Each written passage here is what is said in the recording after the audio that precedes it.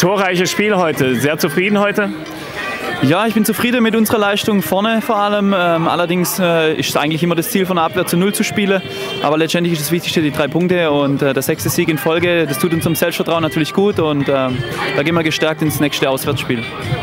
Was für ein Spiel hast du heute erlebt?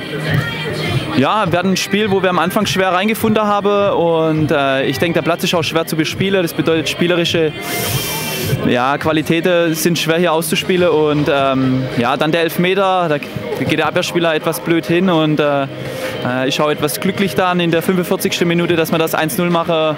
Und äh, dann können wir natürlich auch ähm, voller Power aus der Halbzeit rauskommen. Und das haben wir dann auch gemacht. Und dann muss ich sagen, haben wir offensiv sehr stark zelebriert und haben auch die Tore schnell nach der Halbzeit geschossen. Und nach dem 3-0 denke ich war schon der Sack zu, aber dann wurde es nochmal etwas spannend, aber letztendlich hat es gepasst. Ja, es hat mich äh, heute ein bisschen überrascht, weil du es schon angesprochen hast, spielerisch äh, war es heute schwierig, aber trotzdem viele Tore gefallen. Ja, wahrscheinlich genau deswegen. Ähm, ein bisschen Bälle vorne rein. Ist schwer für einen Abwehrspieler der Platz. Es ist auch schwer für einen Stürmer. Heute hatten wir vielleicht das Quäntchen mehr Glück, äh, dass es äh, geklappt hat und äh, dementsprechend, ja, ich wünsche Freiberg natürlich, dass sie drin bleiben. Ist eine gestandene Oberligamannschaft und ähm, ja, für die weitere Saison noch viel Erfolg.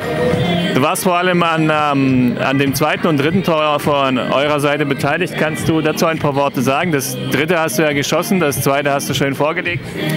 Ja, das zweite war, ich wollte eigentlich schon fast schießen, dann hat der Dirk Prediger gerufen, ja, leg ab, leg ab und äh, konnte dann noch reagieren, habe ihn dann abgelegt und was der Dirk dann daraus macht, ist natürlich ein Traum.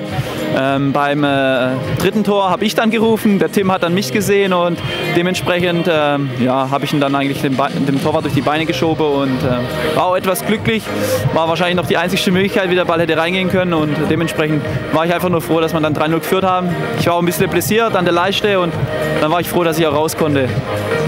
Hast du den Eindruck, dass eure Offensive ein bisschen unterschätzt wird? Was heißt unterschätzt? Wir wissen, wie stark wir sind in der Offensive und ähm, was andere darüber sagen, ist uns eigentlich egal. Äh, wir schauen auf uns und äh, wir geben jedes Mal vorne Gas. Ich versuche auch immer mein Bestes zu geben, wie die anderen Spieler auch und heute hat es super geklappt und so wollen wir weitermachen. Den Aufstieg bzw. die Meisterschaft scheint ihr ja schon ähm, von den Punkten her abgeschrieben zu haben. Ähm, was habt ihr aber noch für Ziele für die Saison?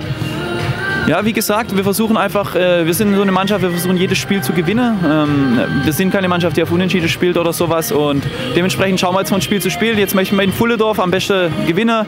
Wird natürlich auch kein leichtes Spiel und ähm, da müssen wir auch wieder alles geben und 100 Prozent und, und dann hoffen wir, dass wir die drei Punkte dort auch mit heimnehmen können. Und dann schauen wir, das nächste Spiel, da kommt ja dann der Kracher und ähm, ja, ich denke, da ist der ganze Kreis schon heiß und ich freue mich natürlich auch auf das Spiel gegen Nördingen. Dominik, ich danke dir vielmals für das Interview. Danke auch, schönes Wochenende.